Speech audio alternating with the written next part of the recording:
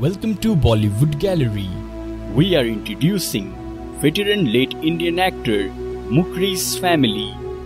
Muhammad Umar Mukri, better known as Mukri, was an Indian film actor who worked as a comedian in Hindi films. He was born on 5th January 1922 in Uran Raigad, British India. Mukri was born into a Muslim family. He was married to Mumtaz. Mukri and his wife Mumtaz had five children, two daughters, Naseem and Amina, and three sons, Nasir, Farooque, and Bilal. One of his children is Naseem Mukri, who wrote dialogues of movies Dhadkan and Haan Maine Bhi Pyaar Kiya. She wrote the screenplay of Dhadkan and acted in that film too. His career in films ran parallel to that of Dilip Kumar, who was his schoolmate. Before joining the film industry, Mukri worked as a Qazi. He started his film career with the film Pratima, along with noted film actor Dilip Kumar in 1945.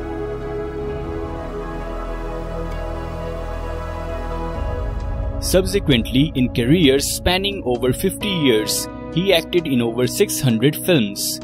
Mukri, with his toothless smile, diminutive structure, and perfect humor timing, amused the audience in more than 600 films in over six decades of Bollywood. His notable films are Mother India, Sharabi, Amar Akbar Anthony, Lawaris, Bombay to Goa, Gopi, Kohinoor, and many more. Mukri died in Mumbai on 4 September 2000 at the age of 78 at Lilavati Hospital due to heart attack and kidney failure.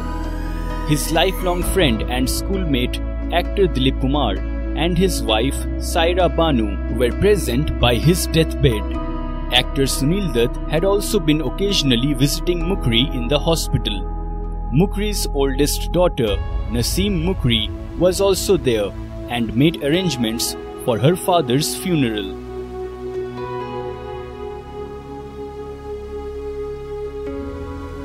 So friends, if you want to watch your favorite celebrities video, comment below and don't forget to subscribe Bollywood Gallery.